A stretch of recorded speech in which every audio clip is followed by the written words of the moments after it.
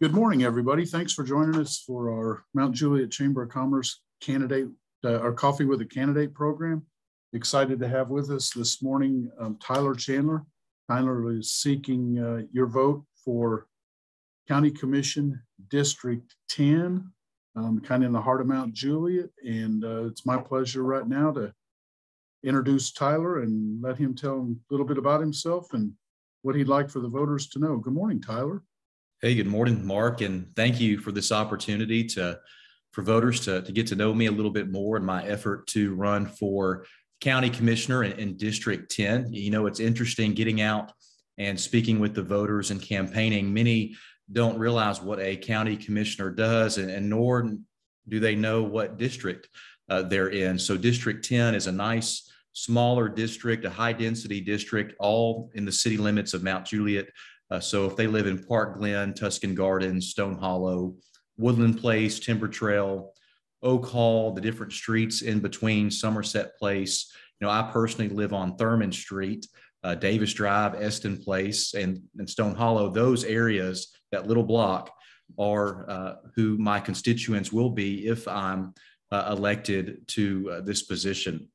And, you know, getting into this, I never thought I'd be getting into politics, but I've served uh, this city for the past 17 years at the police department, living truly my dream job where I started at 18 years old after growing up in the Mount Juliet community since I was nine years old when my family moved here from Texas. And, you know, since being at the police department in all those years, I went off to college at Bethel University and then finished my grad school at Trevecca University, where I also teach as an adjunct professor and just through all that knowledge and what I see here each and every day in this community, I just got more energized to represent uh, our community on a, on a county level and really surrounding the aspect of public safety. I've just begun to see some things where public safety could be better supported, specifically our ambulance service in the community. And I want to fight for them and I want to fight for our community. And I see those deficiencies and I want to do whatever I can to make it better for everyone here.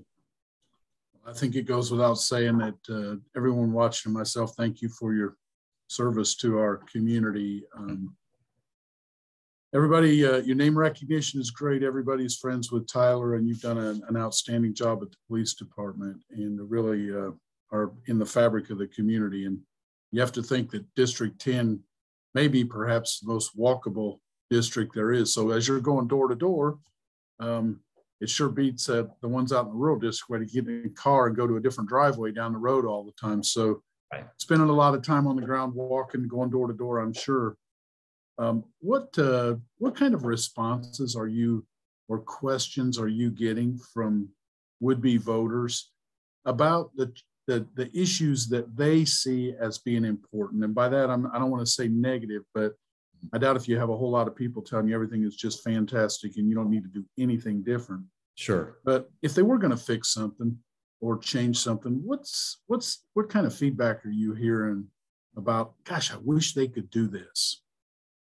Right. You know, and thankful we live in such a a wonderful county, a wonderful city. We have great schools, we have great law enforcement, uh, and our public safety is pretty good overall. But a lot of the issues that I that I see is our community is just not aware of. So to me, there's that lack of uh, communication and transparency about truly what affects them. So many times we can become distracted with national political issues that we forget what is truly affecting us on the local level.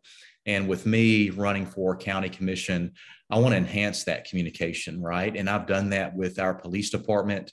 Uh, I teach at other police departments on how to build relationships and, and enhance that communication overall. And I hope to bring that experience as a county commissioner and just be there for the people, be there for someone they can call, reach out to, someone who is super responsive to their needs, and someone who will take what they say and then take that up uh, to the county commission with the other county commissioners that I serve with and relay that to them so they everyone else understands what the needs of our community are. But uh, from door to door, meeting with people, the phone calls that I've received, the emails that I've received, the biggest concern is people are, are always worried about more taxes going up, right? Uh, and they're worried as our community grows, and the, the more need for infrastructure uh, such as public safety and schools and paying our teachers right and paying our public safety professionals right they're worried that taxes may go up. And that's not necessarily the case. We're definitely as wilson county is one of the lowest county taxes around and we can hopefully keep it that way but it takes you know good financial planning conservative financial planning understanding the budget understanding where different allocations can be made and I'm not going to be the politician that's going to come in, in front of you today and say, I'm against this, I'm against that, because truly I don't know. As a newcomer coming into this, I need to meet with other department heads, look at the county budget with all the details that I will get as a county commissioner, and understand what cuts will do to other people or what raises will do for other people. Uh, you have to do your due diligence anytime we're talking about uh, funding different departments in our county to ensure everyone is funded properly and appropriately so we have the best services that we can. Great answer. The, uh, the people that you're talking to, um, many, if not most, uh, myself included, are not necessarily from here. So mm-hmm. we're moving in, and most of us and the people today that are moving here, they have a choice. They could go probably to any community surrounding the Nashville area if they came down here for a job. They those that are following their grandkids, maybe they didn't have a choice, but uh, people come here because they want to. Other than a good school system, top top notch and award winning school system, what else do you think it is that attracts people to this area that maybe the county commission has some impact on? Um, you know, whether it's quality of life or whatever that you would hope to keep the good things good as a as a county commissioner. Right, absolutely. I think it's the same thing that brought my family here back in the 90s is is the good quality of life, but also the culture and the people of our community that we all work so hard to maintain and take care of each other. Number one, with our community, is we do truly look after each other. We saw that through the March 2020 uh, tornado. You know, I was on the ground, one of the first commanders on the scene. I was in my basement when that was coming through, telling our officers where to stay away from getting those details from the weather service and that tornado hit us caused a lot of damage, but our community really came together and helped one another. And that was shown on a large scale in a disaster type environment, but it's the daily stuff that happens every day. You know, from our faith based community that always reaches out to help each other and help others here to our school system where our teachers work hard each and every day uh, to be there for our students. And, you know, I remember eh, that the old Mount Juliet Elementary School, Mark, and you remember this building. A lot of people in Mount Juliet now don't. But I just remember having dedicated teachers there. And, you know, one was my third grade teacher, Miss Gagne. And now she continues to be at Mount Juliet Elementary School, but we just hired a police officer. He just went through the academy. And now that is his mother in law, is Miss Gagne, who is my elementary school teacher. So it's really full circle community oriented. I'm grateful for the different people that move here. I know others may say they wish Mount Juliet wouldn't grow larger, but there's no way to stop that, right? And you know that with the chamber. And if something's good, people are going to come to the good.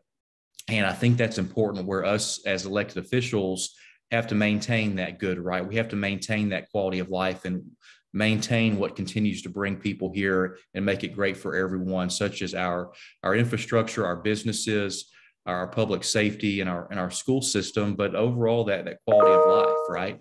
Uh, that makes our town enjoyable. You can go out and just think, man, this is a beautiful place to live. It's safe.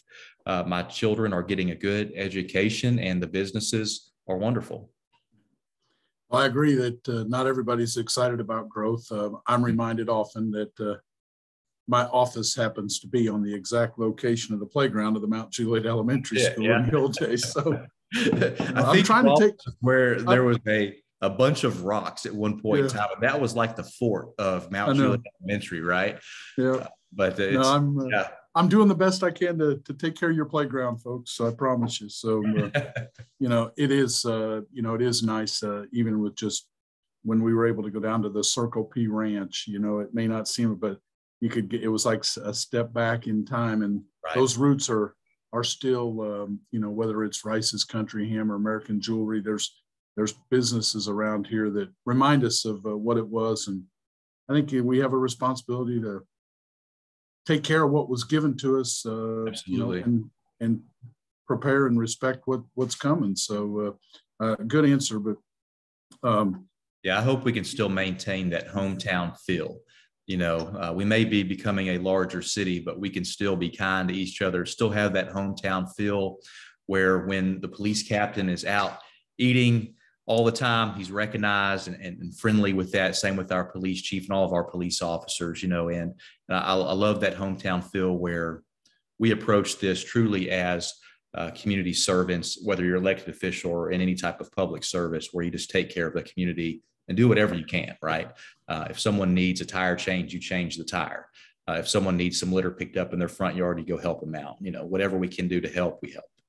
I think that's representative of, uh, you know, of the culture um, with our with our public servants. Uh, you know, it was just uh, seems like within the last week to ten days, our police department, uh, I mean, our fire department loaded up equipment and personnel and went to, to help our friends in need in Sevier County, if I'm not mistaken, Absolutely. over in Gatlinburg. So, uh, and that was paid in advance many times over on March the 3rd, a couple of years ago when uh, Exactly they, right. were, they were coming from everywhere. So, Hmm. um, no one thing you can put your finger on, but it's definitely different around here. Absolutely. I- um, oftentimes I'll ask someone uh, because it's the typical, what would you like to focus on in your first hundred days? Well, let's not maybe talk about a hundred days, but there will be a learning curve.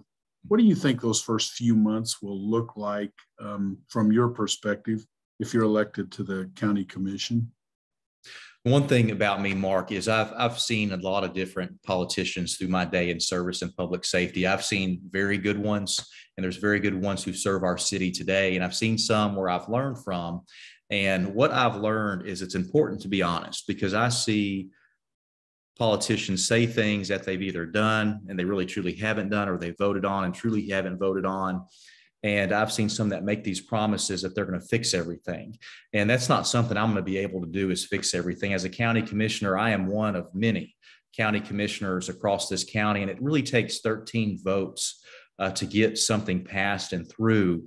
But I think first, in my first 100 days, it's important to build those relationships with my community, which I have that are already very strong, but to give them the tools that they need to stay transparent with uh, the county government and what I am voting on for them, such as a dedicated website for them that they can go to, such as quick communication channels to me, which I've already set up through this campaign process. So everyone knows how to get ahead of me or get a hold of me. And they also know where to go to get information about what I'm I'm voting on. Uh, so I think it's establishing those relationships, establishing those relationships with the different department heads and learning about those different departments and fellow elected officials. It's important that we get along very well. Fish recipes. And uh, Okay. my Amazon Fish. Alexa's I going on. recommend Fish taco from Food Network. Thirty-eight minutes to make. Serves four. What would you like? Let's let that go real recipe. quick. I don't know how I got a fish recipe out of that, but Your next recipe. of all the uh, Amazon stuff in our home, the automatic stuff is going on. I, I heard her say dinner for four. I don't know. Count me in, I guess. So, Yeah. uh, Okay, for fish. Let me go unplug that thing. You I'll got be it. Go ahead. back, All right. Give tell one tell second. Alexa I said, hey. I will. What would you like? Start recipe. Send it to your phone or here next recipe.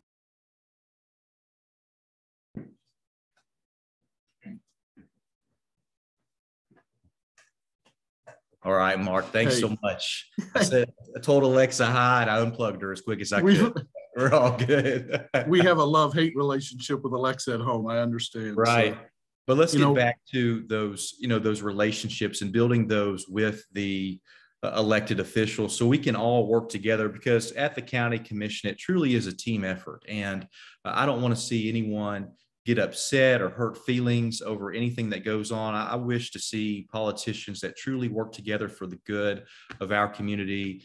And they, again, they work together. They don't get angry with each other and, and they move this county forward in, in a positive direction. So that's where I see my, my first 100 days. fair to say that um, with your current position with the Mount Juliet Police Department, that some of these department heads that you're speaking of, whether that's the Road Commission, Public Works, um, maybe solid waste, certainly the Sheriff's Department, Emergency Services, schools, those relationships, you're not starting from scratch with those. Those are people you've already worked with, in some cases on a weekly or daily basis, I would imagine.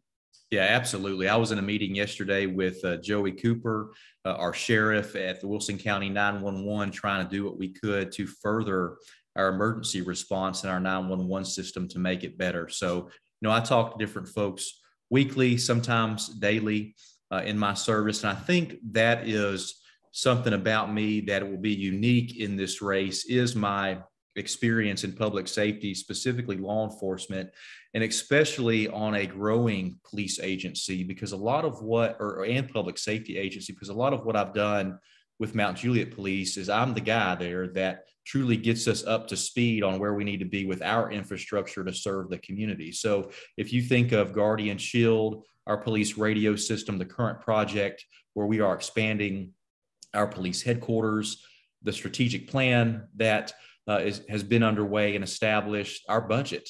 Uh, you know, behind the scenes, that that's that's who's working on that is me. Uh, behind the scenes, of course, with Chief Hambrick.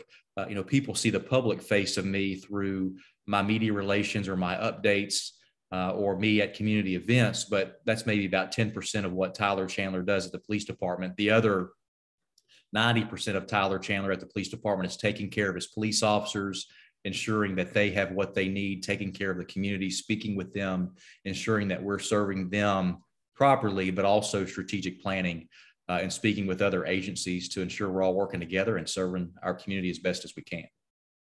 You brought up Guardian Shield, and I will say I will put a plug in for that because it is it's almost funny to a point where you're in a room with multiple other people and everybody starts getting the same little text message and it's just unanimous. Hey they got another one. We just got another one. So uh, everybody that's getting those text alerts knows when the guardian shield when y'all have uh, yeah, caught another another bad person or a person doing bad things so uh, hey let's go ahead and finish up our time together today um, sure. i'd like for you if you would just wrap it up tyler with why you feel like uh, you're the best uh, candidate for this position, and uh, and and be sure to ask everybody for your vote for their vote.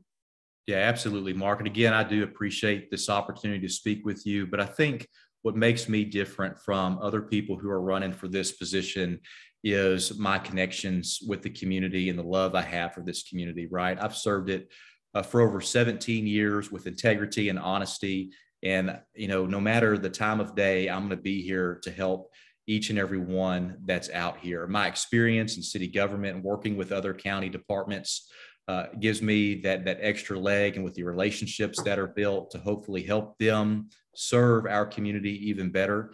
Uh, but I'm also very transparent and I like to have good communication. You know, communication is super important with any relationship, whether it's with your wife at home uh, or serving your community, right? And if you don't have good communication, you likely don't have a good relationship. And I truly want to have a relationship with the people that I serve, that if they have issues on a county level, they know who they can talk to uh, to speak about this. You know, one of the focuses that I have is a quality, sustainable infrastructure and public safety. I want to be there uh, for our, growth and to ensure that we are planning for our growth, whether it's the uh, school projects, different road projects that we have influence over, but also our public safety professionals to ensure we have proper ambulances and firefighters out there serving us as our city continues to grow.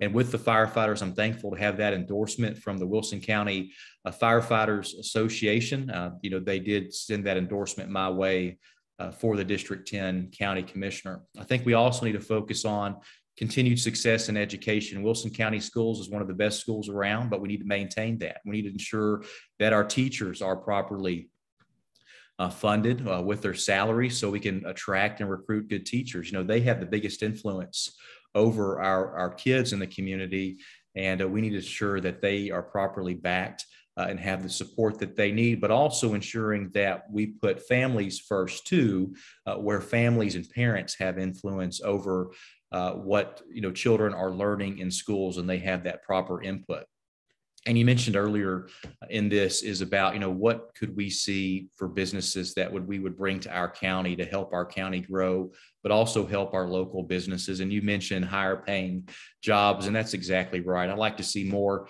professional uh, local job opportunities out there. A lot of our community members leave to go to Nashville or elsewhere to work. Uh, and it would be nice if they could stay local and work at uh, some nice technology firm in town or, or a, a, larger healthcare type industry, maybe research industry in our area. And I think there's a lot of Nashville based industries that could easily recruit out this way. Uh, and I think we see more and more of that moving over. You look at Vanderbilt Health, who continues to move and expand out uh, in, in our area. Uh, but I, and I truly would like to see more of the professional type jobs where they live here, they truly go to work here, but then they're also shopping at all of our local businesses here. That that thing about shop local, right? You know, our local businesses do a lot. Uh, I think of you know Joe Pericone at Local Joe's or Carmelita uh, down at Sisters Whimsy, right? Uh, and they've been around for for a bit, maybe with different businesses in the community, but they've been here and they're always willing to help out when they can help out. And I truly would like to see more patronage to those businesses so we can keep them sustaining uh, as best as they can. And, and that that's going to be my focus. But those first couple days, once elected, it's it's getting in there, it's establishing those communications channels with my community members, but also working with the other elected officials. So we work as a team uh, to get this county moving forward in a positive direction. And it's been going going positive. Of course, anything can be better. Uh, with my life, I could always improve things. With the police department, we can always improve things. But I think uh, it goes down to your heart, your honesty, your transparency uh, to try to make things better. To listen to the people because truly uh, we're serving them, and we want to serve them and provide the best representation as possible. Very well said, my friend. Hey, I appreciate your time this morning. Yeah. I appreciate your friendship and your support of the chamber and what you do in the community. I want to wish you um, the best of luck to you, to your campaign, and to thank all of those people that uh, have um, supported you along the way. And I know our paths will cross soon. I hope you have a great rest of the day. Yeah, absolutely, Mark, and appreciate you. And for folks who want to learn more about me, they can go to my website, which is www.tylerjchandler.com and I would appreciate everyone's vote. And Mark, thank you for everything you do in this opportunity. You're very welcome. Have, Have a good, good rest of the day. All right. We'll make a difference. Bye.